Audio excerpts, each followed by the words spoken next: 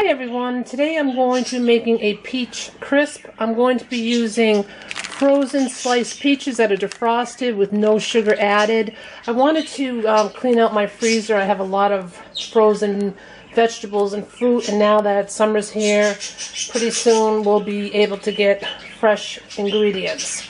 This recipe will be gluten-free. I'm adding gluten-free quick cooking oats and gluten-free white rice flour. All the measurements will be down in the About section. In a bowl, I combine together the frozen peaches, a little bit of sugar, gluten-free flour, and cinnamon. In another bowl, I combined quick cooking oats, rice flour, butter, brown sugar, and cinnamon. I'm going to be using a fork to help cut in the butter. I'll show you what it looks like after I have it all mixed together. I find it easy to cut my butter in using my fingers. Just cut it in until it's about the size of small peas. This is the right consistency. I placed my peaches into a one quart casserole dish that I sprayed with cooking spray. Now I'm going to top it with the oatmeal crisp.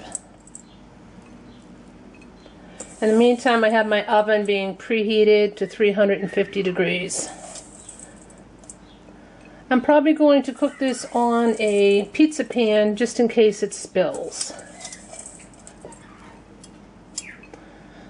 There we go.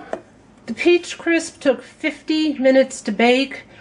Bake it until you start to see some of the peach juice bubbling around the edge of the pan and the top is nice and golden brown. I'm now going to cool it on a wire rack. I made my peach crisp earlier in the day. I like it served warm. So when I served it into the bowl, I put it in the microwave for about 30 seconds. The peaches are a nice consistency. Let me just give this a little taste with the vanilla ice cream.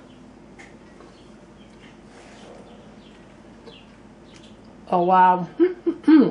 that is delicious. I hope you guys give it a try. Thanks for watching.